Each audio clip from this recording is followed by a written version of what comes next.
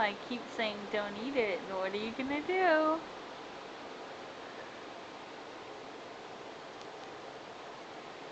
It's a piece of his fur. The fan is kicked up. It's like it's its own creature.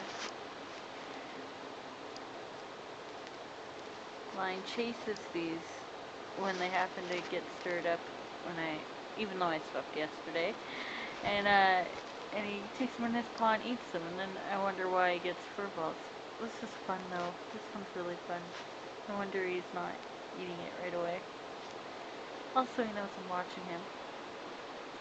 And I've just yelled at him before um, starting to record this not to eat it because he had just uh, eaten one.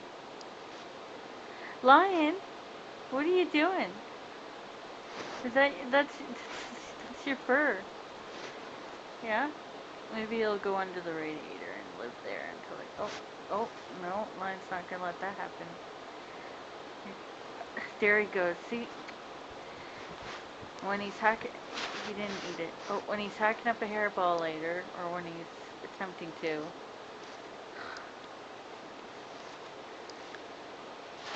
Kitty cat. Lion cat. Lion cat. Lion cat.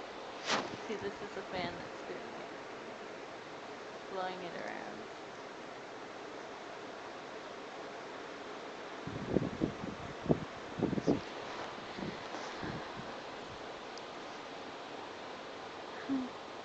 Playing with the lion cat. It's like lion cat has a little friend again.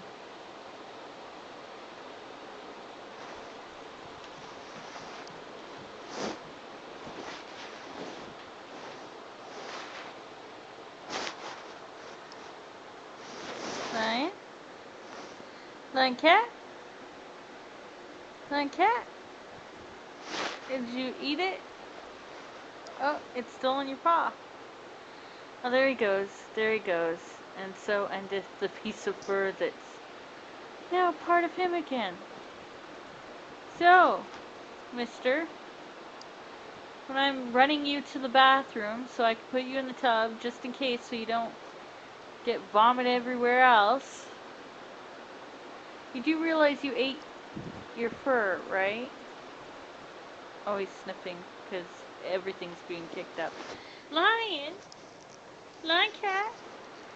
Was that a fun game? Was that a fun game? You want to chase the next thing, huh? Jeez. It's cute. How nice.